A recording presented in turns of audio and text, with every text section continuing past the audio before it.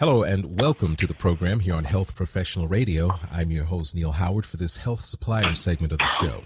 Going to have a conversation with Dr. Lucie Ide. She's the founder of Rimidi. Rimidi is a cloud-based software platform that enables personalized management of chronic cardiometabolic conditions. And she's joining us uh, on the program to talk about why new healthcare technology must be designed with the clinician's needs in mind. Welcome to the program, Dr. Lucie Ide. How are you? I'm great. Thanks for having me. You are, of course, the uh, the founder of Rimidi. Uh, what's your background? So I uh, trained as a physician. I have an MD and a PhD in pharmacology. Worked on gene therapy. Um, but spent the first part of my career before going into healthcare working in mobile technology for the government um, and then investing in mobile technologies um, in, with a venture capital fund. So a little bit of everything. Quite a, a, diverse background, right? Yeah, you know, and trying to bring all of that together um, in Rimidi, focusing on, you know, health innovation and how technologies can benefit healthcare. And that is that the the reason that you started Rimidi to to combine the two? Part of it, uh, once I got into the practice of medicine and sort of seeing the opportunity to drive efficiency and, and use technology, um, but really thought I would go back to the investor side, to a venture capital fund investing in healthcare technologies, and then realized that part of our challenge in healthcare, in my opinion, is that not enough of the solutions are being created by clinicians, by people who really have that frontline experience. So that's why I decided to start a company myself instead of uh, investing in other people's companies. What exactly is a cardiometabolic condition, and is there an unmet need? Uh, is that what Rimidi is focusing on? Uh, that is sort of the broad category we are focused on in the moment, and that is a newer term in healthcare, really um, meant to embody all of the conditions that, in part, stem from obesity, mm-hmm. and that's sort of the metabolic part of it, and that have cardiovascular outcomes that we're trying to improve, like heart attack and stroke. So, diabetes, hypertension, hyperlipidemia, you know, other forms of heart disease, all of that falls under that broad umbrella of cardiometabolic conditions. So basically, you're talking about um, personalized care, kind of a, a, focused care on these conditions rather than, uh, I guess, a shotgun effect or a trial and error effect. Is that what we're talking about? Faster management, uh, better management, or quicker uh, detection? Yeah, exactly. And, and really trying to get the right treatment to the right patient at the right time. Um, across those different conditions, which you know account for about half of our healthcare costs if you if you put diabetes together with the other cardiovascular conditions. How are you matching patients with this personalized care via Rimidi? Um, so Rimidi, as you mentioned at the beginning, is a cloud-based software solution. We overlay the electronic health record um, within a health system and are able to extract data from the electronic health record uh, together with data about what's happening with that patient in the home. So that could be some sort of connected device they have, like a glucometer or continuous glucose monitor or a scale for patients who have heart failure, blood pressure cuff. So by accessing both of those data sets of what happens when you go to the clinic or you're in the doctor's office and what's at home, you know, I like to say the other 360 days a year, um, we're able to you know drive analytics off of that data set and really identify you know what are that individual's needs how do they match up against guidelines for the health conditions they have and what are the best interventions to meet those needs are these devices supplied by Rimidi, or is there an app or something that connects with any device, uh, regardless of its uh, its manufacturer or uh, operating system? Yeah, so we have a lot of great partners on the device side. We're not a medical device company ourselves, but um, we leverage other people's, you know, as I said, glucometers or say a home blood pressure cuff that are connected, that have a Bluetooth option or even cellular connectivity makeable for the patient in the home with them and have the data automatically come back.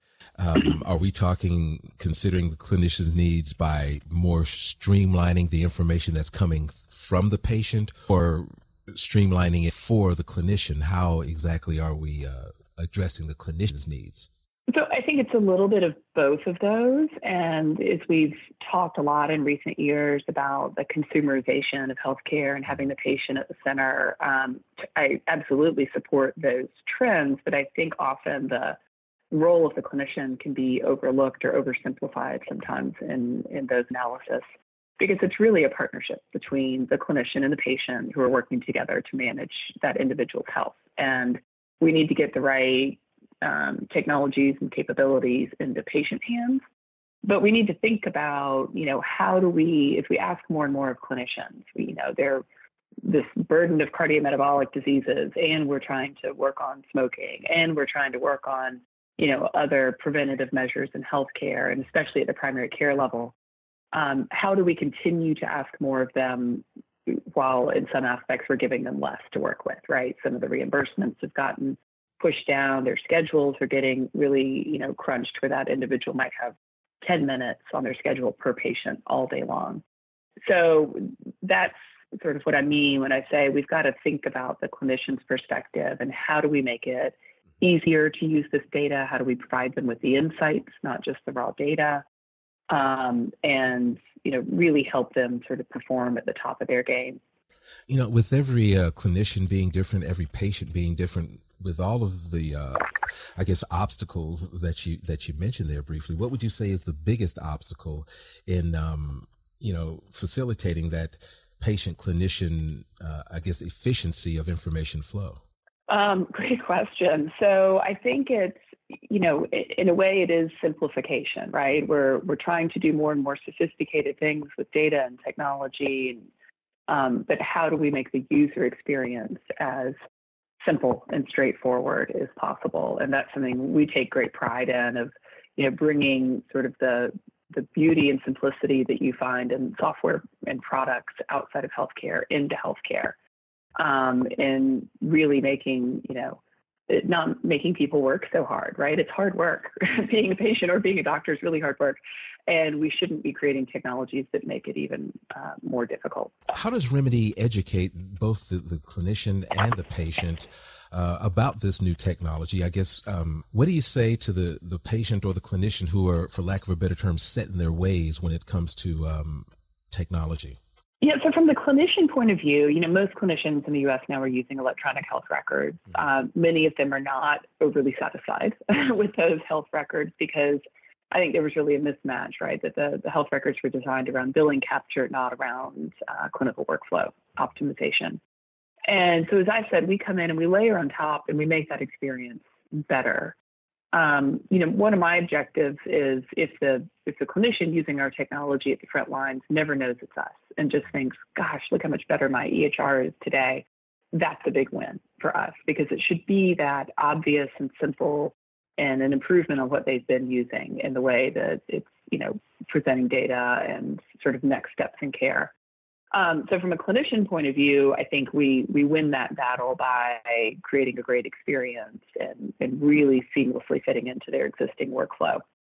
From a patient point of view, um, you know, uh, so our technology is generally driven from the from the clinic, from the uh, physician to the patient, and I think that relationship has been overlooked as a hook for um, driving change, meaning we know in conditions such as smoking cessation that the most meaningful person to ask a patient to quit smoking is their physician. And I think the same can be true in digital health, that when it's the physician that makes the ask and says, you know, we're introducing this new program of how we help engage uh, with our patients.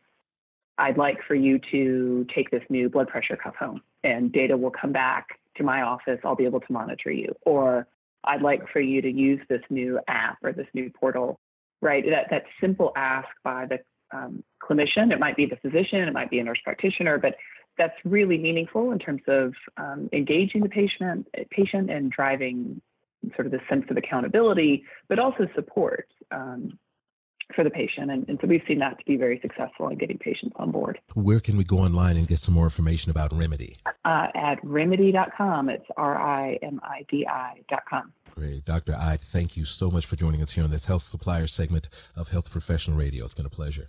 Thank you for having me. You've been listening to Health Professional Radio, this health suppliers segment, in conversation with Dr. Lucie Ide, founder of Rimidi. Transcripts and audio of this program are available at hpr.fm and healthprofessionalradio.com.au. You can also subscribe to this podcast on iTunes, listen in, and download it SoundCloud. And be sure and visit our affiliates page at hpr.fm and healthprofessionalradio.com.au. Thank you for listening to Health Professional Radio. We're very proud to be an independent broadcaster providing our content free of charge to you, the listener. One of the ways that we're able to remain free and independent is by having people like you become patrons. You can support Health Professional Radio simply by visiting hpr.fm and clicking the button that says Become a Patron. Your patronage of even just $1 a month lets us know that you're there, which in turn makes us more valuable to advertisers. And, of course, if you're able to afford more, then we would certainly appreciate the support. My name is Toby Longhurst from Health Professional Radio. Please visit hpr.fm, click the Become a Patron button, and support us if you can.